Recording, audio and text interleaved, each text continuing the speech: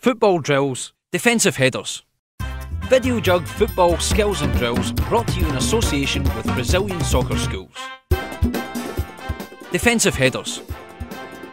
A good defensive header will help get your team out of trouble. The main focus behind a good defensive header should be on getting height and distance on the ball. Getting the ball out of danger should be the main priority. Drill 1.